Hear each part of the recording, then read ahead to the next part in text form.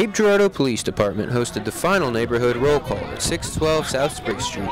Members of the community were met with free food and got to see local officers receive a debriefing before taking over the night shift. He got the ball from you all ago. Watch, watch, watch. He can't go. He can't go.